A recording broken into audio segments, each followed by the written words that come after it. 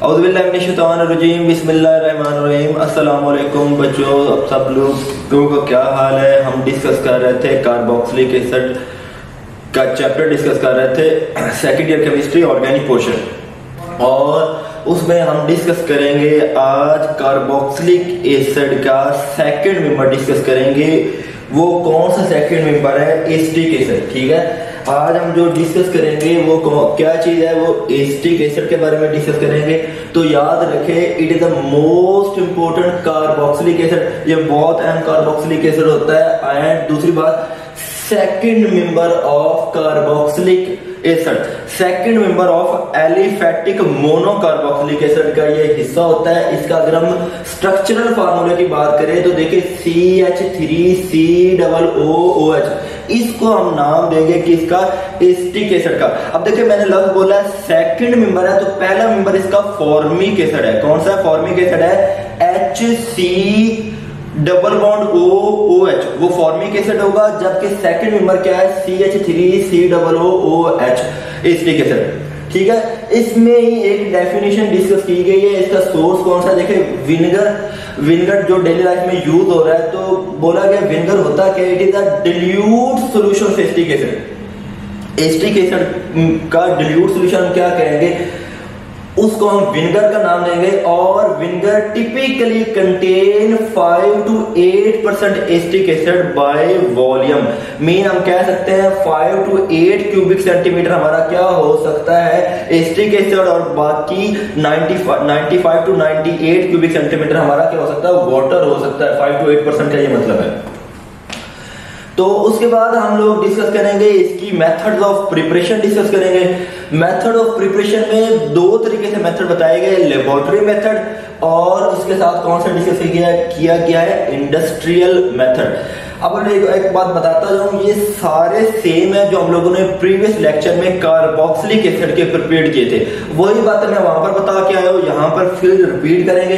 तो पहला कौन सा है? अब एस्टिक एसिड के लिए क्लास हम लोगों ने महसूस कर लेना है। क्या करना है? By the oxidation of ethyl alcohol क्या लफ्ज बोल रहा हूँ? By the oxidation of ethyl alcohol and acetaldehyde ethyl alcohol लेना है। यहाँ पर, क्योंकि हम एस्टिक एसिड तैयार कर रहे हैं, इसके लिए इथाइल अल्कोहल से कर सकते हैं या किससे हम तैयार कर सकते हैं? एसिड एल्डिहाइड से इसको प्रिपेयर कर सकते हैं। इथाइल अल्कोहल को आयुपैक हम क्या बोल सकते हैं? इसको एथेनॉल बोलेंगे, जबकि एसिड को इथेनॉल बोलेंगे।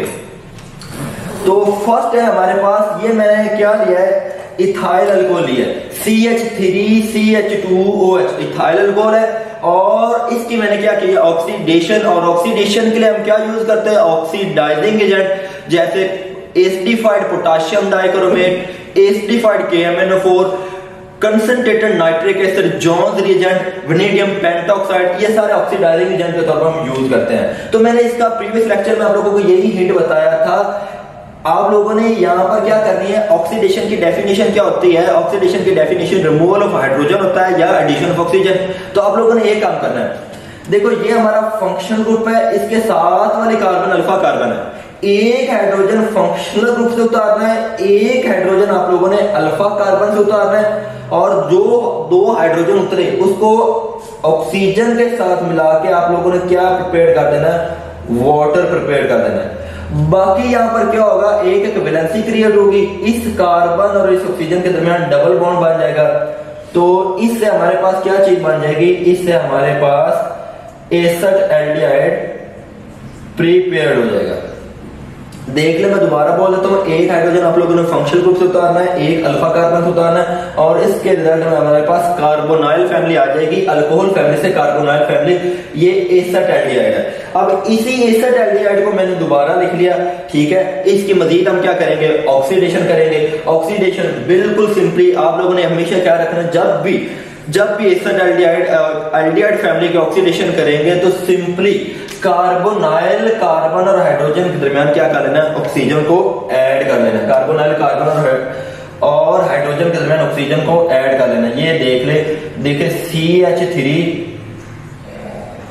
C double bond O O H ठीक है? मैंने क्या क्या? कार्बोनाइल कार्बन और हाइड्रोजन के दरमियान एडिशन की कर, किसकी कर दी ऑक्सीजन की। ये भी ऑक्सीडेशन होगी। इससे हमारे पास क्या चीज़ प्रिपेयर्ड होगी? एस्टिक एसिड प्रिपेयर्ड होगी। सेकंड मेथड हम लोग इसका डिस्कस करेंगे by the hydrolysis of methyl cyanide ठीक है? देखिए ये मेरे पास है सी एच थ्री इसको मिथाइल बोलेंगे इस हिस्से को साइनाइड बोलेंगे। मिथाइल साइनाइड ये कॉमन नेम है।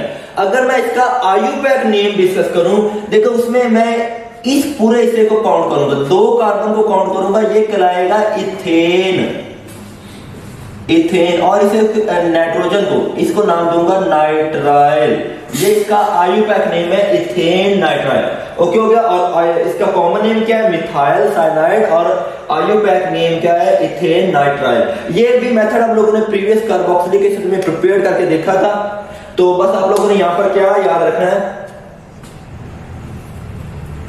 तो सिंपली क्या करना है? हम लोगों ने इसमें वाटर को ऐड करना है। क्या करना है? वाटर को ऐड करना है जिसके रिज़ल्ट में क्या बन जाएगा? एसट अमाइड बनेगा देखते जाइएगा एसट अमाइड देखिए सी एच थ्री आगे सी कार्बन नाइट्रोजन के ट्रिपल बॉन्ड दो बॉन्ड खत्म हो जाएँगे। कार्बन दो ऑक्सीजन के साथ मिल जाएगी। कार्बन डबल बॉन्ड बना लेगी ऑक्सीजन के साथ और एक बॉन्ड किसके साथ बना लेगी? नाइट्रोजन के साथ। अब देखिए, एक ऑक्सीजन ऐड होगी, बाकी दो हाइड्रोजन बच गया। ये किसके साथ ऐड हो जाएँगे? नाइट्रोजन के साथ। नाइट्रोजन तीन बॉन्ड बनाता है, तीन बॉन्ड पूरे हैं कार्बन चार बनाएगा, चार भी इस तरह पूरे हो जाएँगे। इसको हम कहेंगे एसठ अमाइड है। क्या चीज़ है ये? एसठ अमाइड है। अगर इसी एसठ अमाइड के हम मजीद हाइड्रोसिस करें तो इसकी अगर हम हाइड्रोसिस करें एसठ हाइड्रोसिस कर सकते हैं बेस हाइड्रोसिस कर सकते हैं तो वो इसको चेंज कर देगा।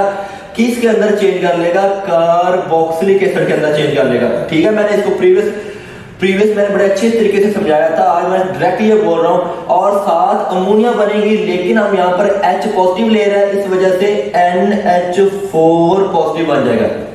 दोबारा से हम लोगों ने इसमें क्या है क्या है? वाटर को ऐड किया है, जिसके रिज़ल्ट में हमारे पास ये चीज़ बनी और साथ अमोनियम आयन बना नेक्स्ट मेथड हमारा इंडस्ट्रियल मेथड हम लोग डिस्कस कर रहे हैं। मतलब इंडस्ट्रियल मेथड जो कमर्शियली वसी पैमाने पर होता है तो इसमें हमारे पास फिर दो मेथड है from acetylene and by fermentation process acetylene acetylene क्या होता है? अल्काइन फैमिली होता है, इसे हम इथाइन कहते हैं ठीक है? और ये इसका क्या है? Formula C H triple bond C H structural formula तो इसमें हमने क्या करना है? सिंपली वाटर का एडिशन करना है। हमने one percent H G S four जो कि डिजोल्व होगी twenty percent twenty percent H two S four के अंदर। और यहाँ पर टेम्परेचर सेवेंटी फाइव से एट्टी डिग्री सेल्सियस तक यूज़ कर सकते हैं। सिंपली एडिशन रिएक्शन होगी। एक तरफ़ आप लोगों ने कार्बन और हाइड्रोजन ऐड कर लेनी है और एक तरफ़ आप लोगों ने क्या हाइड्रोक्सल ग्रुप को ऐड कर लेना है। ठीक है? तो जब भी एडिशन एक्शन होगी डबल बॉन्ड और ट्रिपल बॉन्ड हो तो एक पाई बॉन्ड लाजमी खत्म करना है। तो ये बन जाएगा सी एच है। सी एच से एक हाइड्रोजन ऐड हुआ सी एच टू और साथ क्या आ जाएगा डबल बॉन्ड सी एच और इसके साथ क्या आ जाएगा ओ OH देख ले C H two C H O H इसके साथ ऐड कर दिया ठीक है? अब इस हिस्से को, इस हिस्से को बोलेंगे विनाइल और ये OH अल्कोहल तो ये कहलाएगी विनाइल अल्कोहल या इसे इनोल बोलेंगे। इंतहाई अनस्टेबल होती है, ठीक है? अनस्टेबल होती है अपने आप को फ़ौरन क्या करेगी? रीअरेंज करेगी। फ़ौरन क्या करेगी? खुद को रीअरेंज करेगी। कैसे रीअरेंज करेगी? देखिए, ये वाला बॉन्ड टूट के इधर शिफ्ट होगा रीअरेंजमेंट में। और जैसे इधर शिफ्ट होगा कार्बन और ऑक्सीजन के दरमियान क्या बनेगा? एक डबल बॉन्ड बनेगा। क्या बनेगा? एक डबल बॉन्ड बनेगा। अब यहाँ से हाइड्रोजन किस फॉर्म में उतरी। हाइड्रोजन यहाँ से H पॉजिटिव की फॉर्म में उतरी। कार्बन चार बॉन्ड बनाता है। इस वजह से ये वाला पाई बॉन्ड टूट के किसके ऊपर शिफ्ट होगा? सी एच टू के ऊपर शिफ्ट होगा। देखिए सी एच टू अब ये क्या ले रहा है? पाई इलेक्ट्रॉन ले रहा है तो ये सी एच टू किस फॉर्म में होगा? नेगेटिव फॉर्म में। ये H पॉजिटिव ये CH2 नेगेटिव आपस में मिलकर क्या बना देंगे? सी एच थ्री बना देंगे। क्या बना देंगे? सी एच थ्री बना देंगे। बाकी हमारे पास क्या चीज़ है? बाकी हमारे पास कार्बन और डबल बॉन्ड ओ है। कार्बन डबल बॉन्ड ओ और साथ ये हाइड्रोजन मैंने लिखा हुआ है। अब ये क्या चीज़ बन गई? Acetaldehyde. मतलब हम लोग ने अल्कीन अल्काइन को चेंज किया, किसके अंदर? एसट एल्डिहाइड के अंदर चेंज किया। अब इसी एसट एल्डिहाइड के ऑक्सीडेशन करें वेनेडियम पेंटॉक्साइड के साथ। ऑक्सीडेशन मैंने बोला जब भी कार्बोनाइल ग्रुप की ऑक्सीडेशन करेंगे खासतौर पर एल्डिहाइड की तो आप लोगों ने क्या याद रखना है? कार्बोनाइल कार्बन और हाइड्रोजन के दरमियान ऑक्सीजन को ऐड कर देना C H three C double O H. अब देखिए, ये क्या हो गया? ऑक्सीजन ऐड किया। ये एसिटिक एसिड बन गया। क्या बन गया? एसिटिक एसिड बन गया। अब हम चलते हैं नेक्स्ट पोर्शन की तरफ़। नेक्स्ट पोर्शन हम डिस्कस करेंगे फ्रॉम फर्मेंटेशन तो फर्मेंटेशन हम लोगों ने अल्कोहल फैमिली में एथेनॉल तैयार की थी। मोलासिस से डेट से, ठीक है? बार्ले राइस मेज ये इस तरह के हमने कुछ रॉ मटेरियल यूज़ किया था। उससे हम लोगों ने क्या तैयार किया था फर्मेंटेशन के प्रोसेस के ज़रिए एथेनॉल तैयार की थी। अब वही एथेनॉल हम यहाँ पर ले रहे हैं। फर्मेंटेशन के प्रोसेस के ज़रिए जो तैयार हुई है। अब देखिए सेम वही रिएक्शन आ रहा है जो हम लोगों ने कौन से लेबोरेटरी मेथड में डिस्कस किया from ethyl alcohol and acetaldehyde तो सिंपली क्या रख, याद रखना है, ये फंक्शनल ग्रुप है। सात वाले कार्बन अल्फ़ा कार्बन है, एक हाइड्रोजन यहाँ से उतारना है, एक हाइड्रोजन यहाँ से उतारना दो हाइड्रोजन इस ऑक्सीजन के साथ मिलकर क्या बना देंगे? वाटर बना देंगे। बाकी क्या चीज़ बचेगी? बाकी ये चेंज कर लेगा खुद को एसठ एल्डिहाइड के अंदर। खुद को किसमें चेंज कर लेगा एसिड एल्डिहाइड के अंदर। अब इसी एसिड एल्डिहाइड की मजीद ऑक्सीडेशन करें। कार्बोनाइल कार्बन और हाइड्रोजन के दरमियान ऑक्सीजन ऐड कर ले। सेम टू सेम सारी चीज़ें आ रही है। ये हमारा क्या बन गया? एसिटिक एसिड प्रिपेयर्ड हो जाएगा। अब हम डिस्कस करेंगे इसकी फ़िज़िकल प्रॉपर्टीज़ फ़िज़िकल प्रॉपर्टीज़ क्या होता है? कलरलेस लिक्विड होता है। देख ले आप विनेगर को देख ले। ठीक है? और विनेगर लाइक ऑर्डर अभी मैंने बात की है, ये सिरके जैसी क्या रखता है? स्मेल रखता है। तो देखिए, जो सिरका होता है it is typically contain 5 to 8 percent acetic acid तो इस वजह से इसकी जो स्मेल होगी विनेगर लाइक होगी। सोर टेस्ट एसिड है तो सोर टेस्ट रखेगा। Boiling point 118 degree Celsius miscible mean soluble ये अल्कोहल के अंदर भी सॉल्युबल है वाटर के अंदर भी, और इथर के अंदर क्या होगा? सॉल्युबल होगा। अब हम बात करेंगे एक बात अहम शॉर्ट क्वेश्चन की बात करेंगे glacial acetic acid glacial acetic acid की बात करेंगे। तो याद रखिए ग्लेशियल एसिटिक एसिड क्या होता है? प्योर एस्टिक एसिड हमारे पास विदाउट एनी इम्प्योरिटी कोई भी एस्टिक एसिड होगा।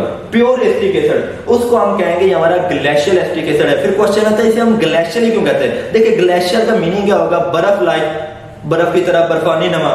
तो जब भी हम इसको 70 डिग्री सेल्सियस तक लाते हैं मीन इसे ठंडा करते हैं 70 डिग्री सेल्सियस तक लाएँगे, कहते हैं it is freezes to an ice like solid जो बिल्कुल बर्फ़ की तरह क्या हो जाता है, खुद को सॉलिडिफाई कर लेता है।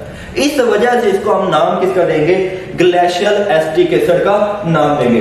फ़िज़िकल प्रॉपर्टीज़ के बाद इसके आएँगे कुछ केमिकल रिएक्शन केमिकल रिएक्शन इसके ऑलमोस्ट सेम है, जो हम लोग डिस्कस करके आए हैं पहले भी। जो हम लोगों ने जनरल कार्बोक्सिलिक एसिड के, हम लोगों ने जो केमिकल रिएक्शन डिस्कस करके है, वही डिस्कस किए। बस दो बातें आप लोगों को उसी में इजाफा कर तौर पर बता रहा हूँ। पहली बात, जो हमारा फॉर्मिक एसिड है वो कभी भी एसिड एनहाइड्राइड नहीं बनाएगा और एसिड एनहाइड्राइड को हम कंडेंसेशन कहते हैं मीन एडिशन एलिमिनेशन रिएक्शन कहेंगे। ये बस दो बातें बतानी थी, ये याद रखिएगा। अब उसके बाद हमारे यूजेज आएँगे। यूजेज वैसे सात के करीब दिए गए, लेकिन मैं उसमें मोस्ट इंपोर्टेंट मीन समझाने वाला एक ही यूजेज है, वो आप लोगों के साथ शेयर कर लेता हूँ। तो एक यूजेज मैं आप लोगों के साथ शेयर करने लगा हूँ। ये तो तो जो के साथ समझिएगा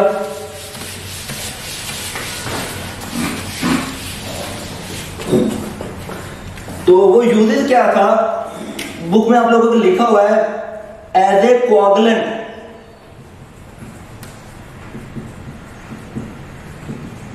for latex in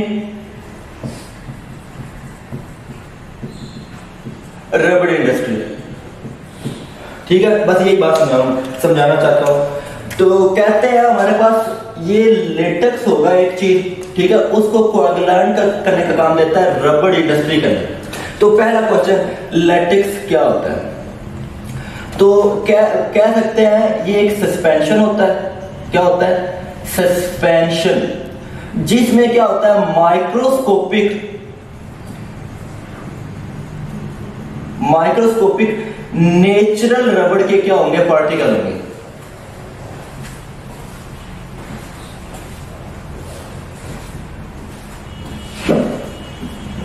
ठीक है?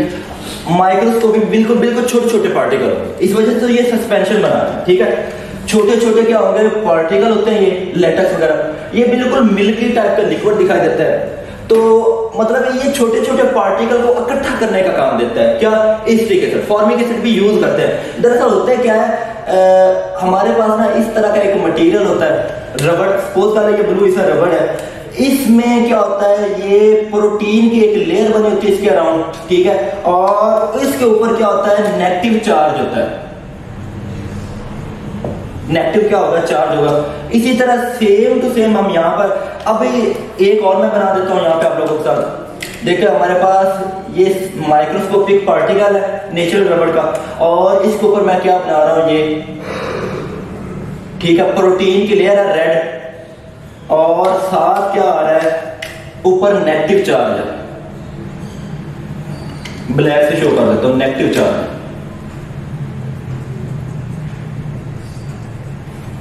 अब देखिए, हम इनको क्या करना चाहते हैं? आपस में मिलाना चाहते हैं, ये मिल नहीं पाएँगे। क्यों? ये नेगेटिव चार्ज है और ये नेगेटिव चार्ज है। नेगेटिव चार्ज नेगेटिव चार्ज को क्या करेगा? रिपेल करेगा इस वजह से। फिर हम क्या करते हैं? इसके अंदर ऐड कर देते हैं एसिड क्या ऐड करेंगे? एसिड ऐड करेंगे। और एसिड हमें हमेशा क्या देगा? एच पॉजिटिव देगा। अब ये एच पॉजिटिव यहाँ पर आके लगना शुरू होगा इस नेगेटिव पोर्शन के ऊपर क्या आएगा? एच पॉजिटिव निकल के क्या हो जाएगा? लग जाएगा। ये मैंने यहाँ पर एच पॉजिटिव लगा दिया